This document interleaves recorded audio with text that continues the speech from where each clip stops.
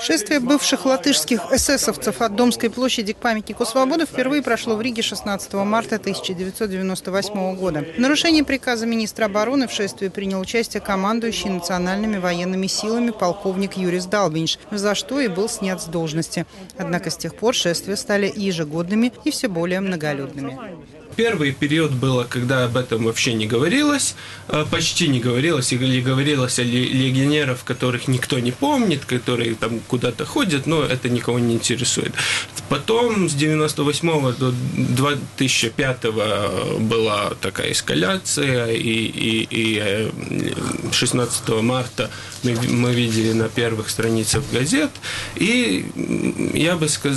хотел сказать, что с 2005 года в средствах массовой информации такая тенденция больше э, не делать сенсацию из этого, а понять, что это такое.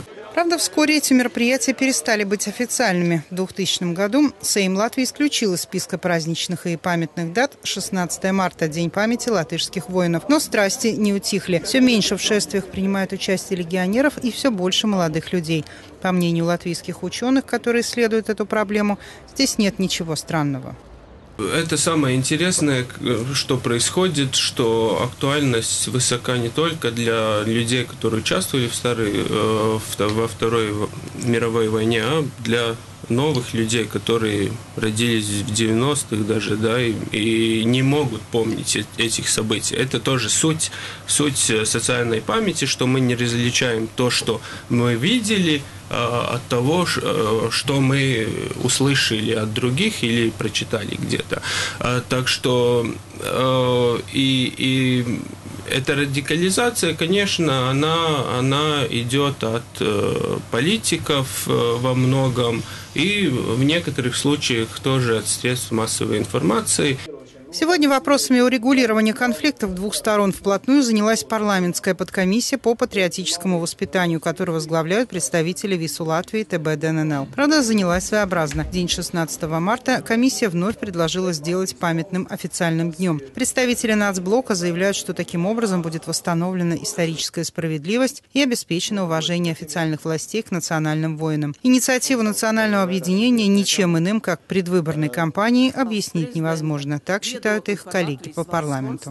Легионеры, которые не участвовали в преступлениях, были насильственно мобилизованы, являются жертвами нацизма. И они должны возлагать цветы в день памяти жертв нацизма. Не безусловно, все легионеры являются жертвами, потому что э, Гитлер, в общем, их обманул, когда их вербовали и когда им даже рассказывали сказки о том, что они в рядах легиона Waffen-СС будут бороться с большевизмом. А поэтому выбирать день 16 марта, который был выбран организацией Даугава Сванаги, он э, совпадает с одним из памятных дней Третьего Рейха. Это день памяти павших героев. Я думаю, что коалиция навряд ли осмелится проголосовать за этот законопроект. Я думаю, что европейское сообщество не останется в стороне. Но я думаю, это будет продолжаться, и попытки национального объединения как бы взять реванш, они будут продолжаться Остальные коалиционные партии сразу заявили, что не поддержат поправки. Премьер-министр Валдес Домбровский заявил, что 16 марта – это дата, которая скорее разъединяет, а не сплачивает латвийское общество. И не только 16 марта. Согласно исследованию ученых, Вторая мировая война в целом традиционно раскалывающий латвийское общество вопрос. Это видно ежегодно по двум датам – 9 мая и 16 марта. Сегодня эти даты пытаются уравновесить, и решение этого вопроса доверено комиссии по сплочению общества, которую по случайному совпадению тоже возглавляет нацблок. Не так давно эта комиссия приняла воззвание к народу, где призвала примириться тех, кто отмечает эти две даты. Нетрудно догадаться, какова реакция тех, кому обращено провокационное воззвание. Зато цели нацблока достигнуты, они говорят и пишут. А что еще нужно для предвыборной кампании?